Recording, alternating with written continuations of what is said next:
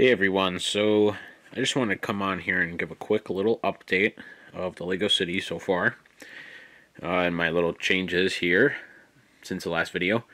So we got mostly everything put back together here after our complete rip apart.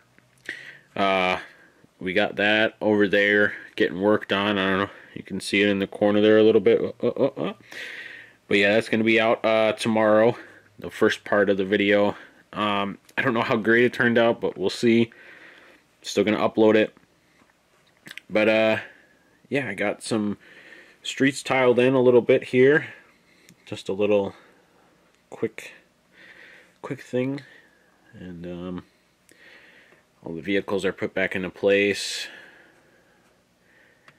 I got uh, street signs set up.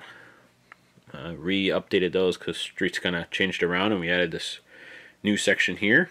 And uh, the curve didn't end up working out because I don't have any, so we're just going to stick with that plate for now. Um, if you guys have any suggestions where I should put the uh, train station, just for now, because I, I don't, I don't know what I'm doing with this, really, so I can't really figure that out. But um, and, and then if you guys want to see a update on the uh, little like carnival I got going on here, uh, I want to do some more to it because it's not really much.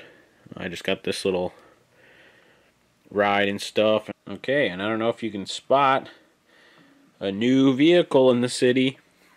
Um, and I realized too, I, I can't be added more vehicles. There, there's already the place is already filled here. But um, we got this bus um, in for the city now.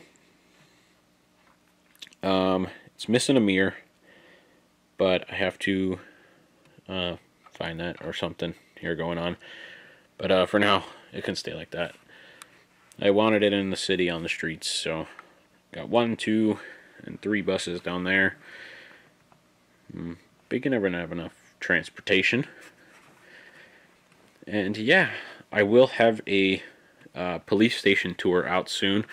Uh, if you guys want that, um, I'd uh, I'd like to finish the inside too. I'm not completely done, but uh, until then, then I'll have a video of touring it and everything inside. Uh, till then, I'll catch you guys around.